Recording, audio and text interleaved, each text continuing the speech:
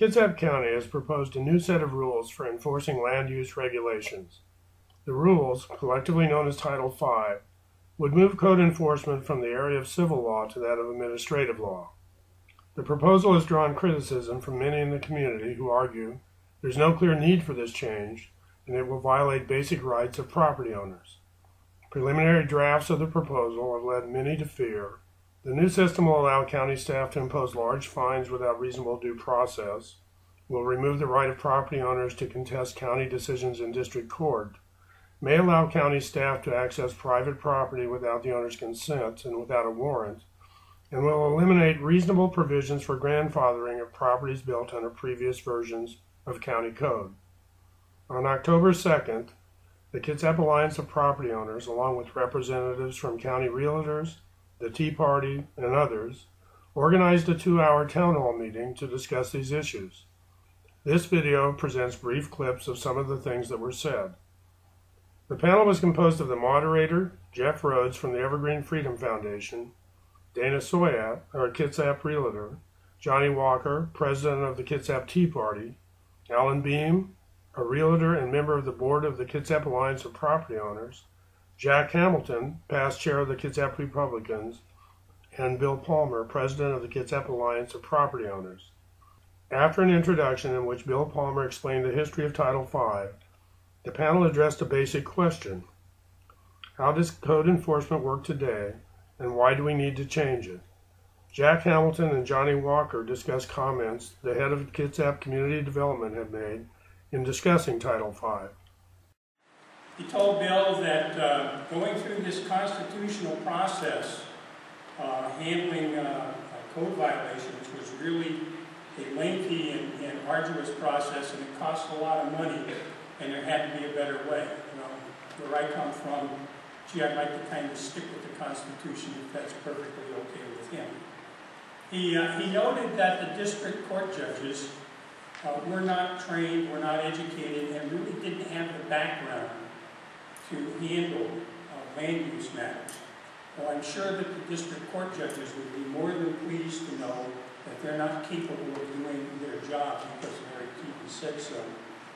Um, I, I think he made it pretty clear that the whole reason for this was to make this process more um, amenable to the county and a little bit less amenable uh, to the property owners. And, and keep in mind when you listen to those answers and then you consider that the primary responsibility of any elected official and therefore their appointees is to maintain and protect individual rights. I think there's a significant disconnect there. I want to build on what Jack said a moment ago about the constitutional issues, because in that same series of emails, there was an assertion uh, by the county department head that uh, he didn't think these were constitutional issues. Essentially, the, the seizing uh, or, or, regulation of property, the uh, elimination of the grandfather clause, the warrantless inspections of your property, home, and business. He didn't see these as constitutional issues and asked me on a separate email. I was, I was quite surprised that asked me what constitution was I referring to. And, and so you know, because his reading of the federal constitution didn't, you know, didn't mention this as, as, as I indicated, so I, I, had to point to him the state article uh, in the Constitution that charged him with protection of individual rights. Several people were concerned about the fact that the new regulations appear to allow county staff to act without regard for due process. There is a state law right now that says what a county code enforcement inspector can and cannot do and how he has to go into the property. The, the RCW is called the Landlord's uh, Landlord Tenant Law. It's RCW 59.18.150. And there, it requires two things to get a code enforcement officer onto a piece of property. It's, they have to go to a judge. They have to say, there is a violation of code here. Part one. Part two is imminent danger to the to person or property. They have to satisfy both of those before they can get a warrant to come onto the property. State law. That's not in here. Ms. Jones? One other thing that's, that's sort of interesting along the, the inspector coming on your property, most of the complaints that DCD is acting on are third-party complaints. Neighbor A is out on neighbor B, doesn't like him, makes too much noise, whatever. Well, there is no need to validate what that complaint says or the basis of that complaint. The complainant is kept absolutely in- invisible throughout this process and there is no recourse. But consider, if I told a, uh, the the code enforcement officer that there was something wrong on your property, what authority does he have to go on that property? He has no personal knowledge. He does not have the, the uh, witness account of somebody who has been there. And if you're smart, you're sure as hell not going to let him come through the house. So consider how this whole thing starts. It starts because I walk up to your door, and before you can tell me, get the hell off my property, I tell you that you're in violation and you're subject to $500 or $1,000 a day fine. And oh, by the way, here's the complaint. Alan Beam discussed the issue of grandfathering. Right now, if you build a house and you build it to today's standard, you're free to live in that house. If you, um, example, um, before 1975, there were no building codes in this county. So if you built your house before 1975, the code compliance officer comes in and says, the railings are four inches too far. Whatever he wants to say, you're in violation. In 1994, they um, changed the energy codes, and they took the required energy uh, insulation capability from R9 to R22. Minor problem: R22 insulation doesn't fit in a 4x4 in a 2x4 construction code, so the county went to 2x6 co- codes.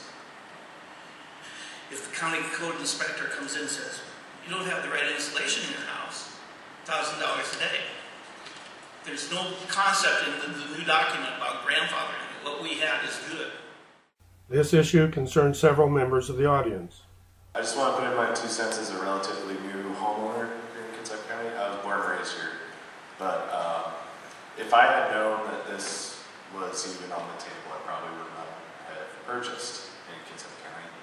Um, I bought a house that was built in 1984, and we're talking about all these codes. As soon as I learned about this, I went and did some research, and in order to fix my house, which is a duplex, I'm also a landlord, so in order to fix everything and get everything up to current codes, which I was under the impression that I was good because it was grandfathered in when I bought the property, um, it would probably cost me close to half a million dollars, which is absolutely ridiculous. People discussed the idea that the new regulations would depress sale of property. If I'm a realtor, I could be possibly drug into a lawsuit, um, selling a house that was not in code compliance. Alan Beam enlarged on this point, reading from a draft of Title V. The fact that a person aided, abetted, counseled, encouraged, hired, com- commanded, induced, or procured, or could not or did not entertain a criminal intent shall not be a defense to any person aiding, abetting, counseling, encouraging, hiring, commanding, or inducing another person. Here's or her. You're all guilty in something. Everybody raise your hand. At the end of the meeting, Bill Palmer talked about what citizens can do if they oppose this proposal. If the first thing you do is to talk to your neighbors, that's the step you should take immediately. Be a phone call, could be an email, could be a letter. Second thing you do, and we will try to, as Kitsap Alliance property owners, to uh, keep you informed as to what's going on to the best of our ability and to let you know how to take action. If the day comes that a public hearing is scheduled, whether it's first before the planning commission and ultimately before the board of county commissioners. The uh, experience that this organization and the realtors have had in the past is that if large numbers turn out in opposition in large numbers, what's that? That's 500 or more people turn out in opposition to something the Board of County Commissioners have in the past demonstrated that they will think twice before taking action on an ordinance.